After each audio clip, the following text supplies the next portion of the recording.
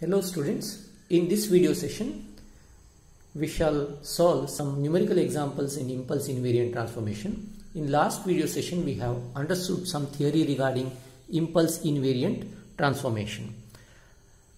The following examples let us solve it. Okay, these all are based on the common thing that already we have covered up in the last session. We know suppose there is h of s which is given by say C naught divided by S minus S naught. Okay? Where S naught is a constant or pole position. In suppose that is H of S the corresponding H of Z corresponding H of Z with impulse invariant transformation will be C naught divided by 1 minus instead of S naught I will write e raised to s naught t z raised to minus 1. This is how I will take an h of s equation to h of z. This is how I will take h of s to h of z using impulse invariant transformation. Constant c naught will be there.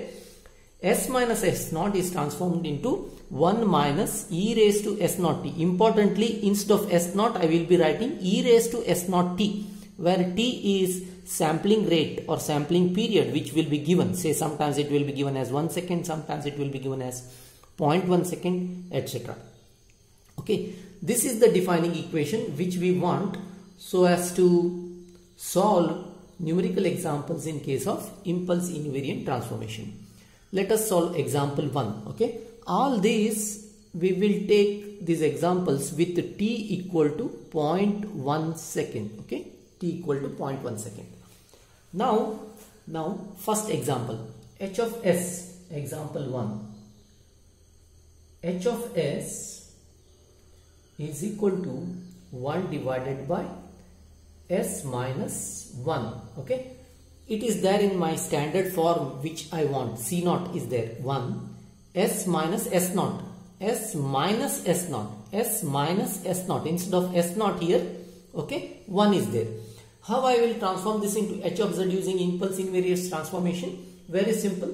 See, h of z is equal to c naught that is constant. Same equation I will write 1 minus instead of this e raised to s naught. s naught is 1 1 into t okay 1 into t z raised to minus 1 over that's what I am doing hmm? here as I told you t I have to take it as 1 second. Hence hence continuing here h of z becomes equal to h of z becomes equal to 1 divided by 1 divided by 1 minus e raised to 1 into 0.1 t because t is given as 0.1 in these all examples.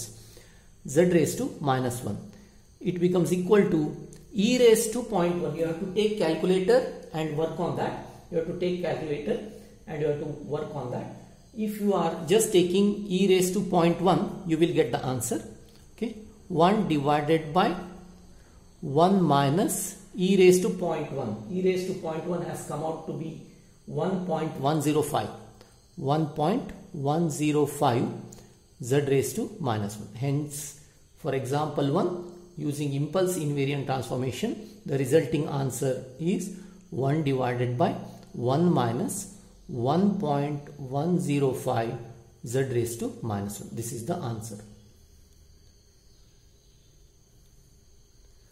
Okay now example 2 let us solve example 2 example 2 how it is?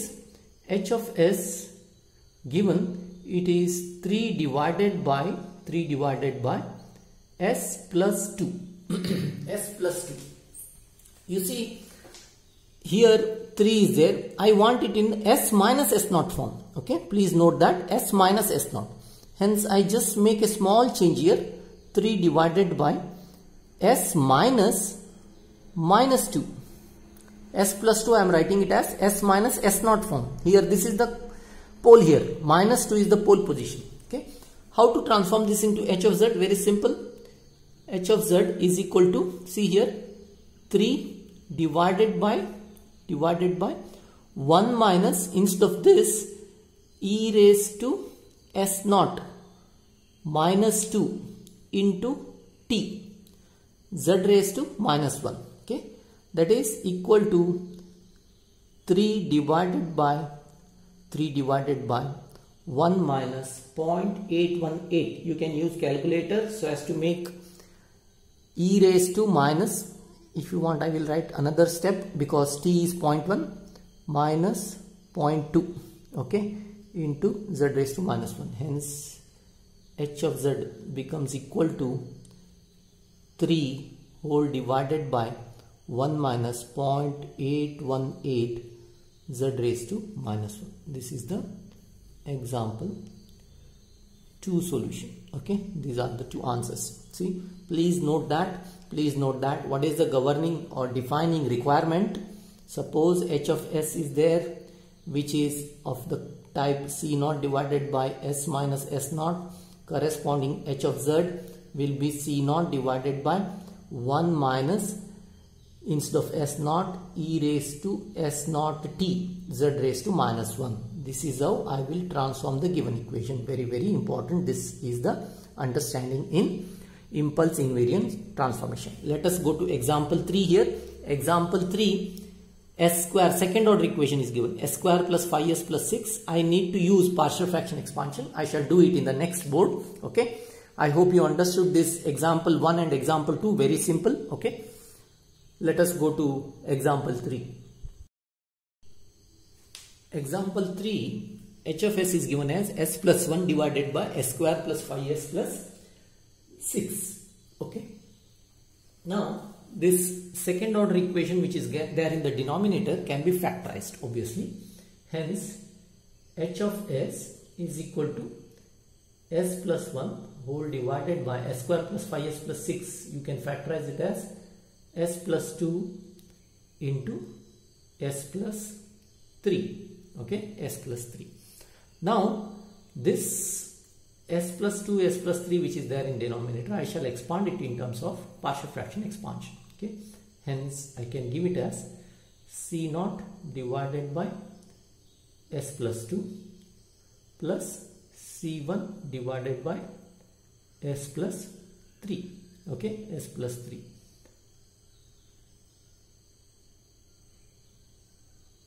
now this C0 C1 constant C0 C1 partial fraction expansion C0 C1 constant I should find out. You can use A0 A1 whatever but C0 C1 as I have told in theory we have used C0 and C1 I am using it. Now uh, how to find C0? C0 is equal to C0 is equal to you know that C0 denominator S plus 2 is there in this equation you will discard S plus 2 and you will write only S plus 1 divided by discarding this s plus 3 with with s became equal to minus 2 hmm? in z transformation you have understood how exactly to find the constants. Now what happens? S became equal to minus 2 hence minus 2 plus 1 whole divided by minus 2 plus 3 minus 1 divided by plus 1 that means answer became minus 1 now c naught is equal to minus 1 Similarly, C1. How to find constant C1? C1 constant can be found. S plus 3 is the denominator factor. Hence, in this equation, you will use S plus 1 divided by S plus 2. Okay. With S became equal to minus 3. S became equal to minus 3. The position. Hence, minus 3 plus 1 whole divided by minus 3 plus 2 minus 3 plus 2 hence it became minus 2 divided by minus 1 hence 2 is the answer. C1 c1 became equal to 2 c1 became equal to 2 hence how i can write how i can write h of s? With partial fraction expansion i will write c naught. C naught is minus 1 whole divided by s plus 2 plus c1 c1 is 2 divided by s plus 3 now I have brought this into my standard form. What is the standard form? C 0 divided by s minus s 0 okay? Still it is s plus 2 I want always write it in the standard form okay? H of s is equal to minus 1 divided by s minus s naught s minus minus 2 plus 2 divided by s minus minus 3 because I want to write always s minus s naught s minus s1 s minus s3 s2 like that. Hmm? because it is easy for me to transform. Now corresponding h of z.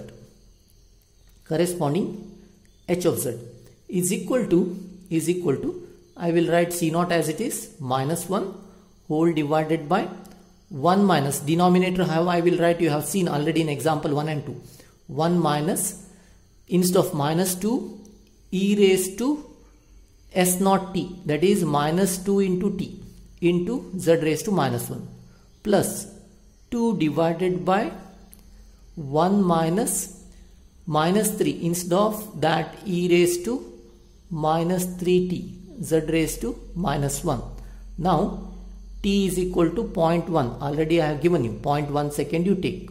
Hmm? hence h of z became equal to minus 1 whole divided by 1 minus e raised to minus 2 into 0.1 z raised to minus 1 plus 2 divided by 1 minus e raised to minus 3 t is 0.1 into z raised to minus 1 okay? Now e raised to minus 0.2 e raised to minus 0.3 hence it became minus 1 whole divided by 1 minus e raised to minus 0.2 e raised to minus 0.2 is 0.818 z raised to minus 1 plus please look into your calculator and do this.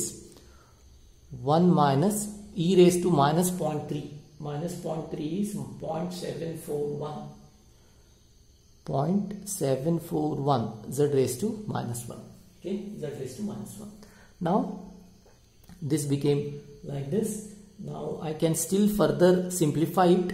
H of z is equal to h of z is equal to I will cross multiply this and it became minus 1 into 1 minus 0.741 z raised to minus 1 plus 2 into this came here 1 minus 0.818 z raised to minus 1 whole divided by 1 minus 0.818 z raised to minus 1 multiplied by 1 minus 0.741 z raised to minus 1 cross multiplying this final answer h of z comes out to be comes out to be 1 minus 0.896 z raised to minus 1 whole divided by 1 minus 1.559 z raised to minus 1 plus 0.606 z raised to minus 2 okay this is my final answer. Okay this is my final answer you know that? Same thing. S minus s naught. Hmm? same equation. But initial step partial fraction expansion I have done here. Partial fraction expansion I have used. Okay? If this is not uh, say uh, fraction is not available properly then you have to see. In the next example I shall solve it. Okay? I hope you understood.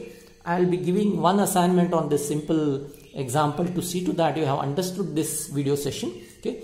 Uh, try to solve that and upload the assignment okay? Assignment 6 in this regard. Uh, I hope you have understood this. Impulse invariant transformation numerical example. Uh, upload assignment. And if you are or if you are having any doubts in this regard you can uh, uh, put it on your group. Hmm? your doubts you can contact me. Thank you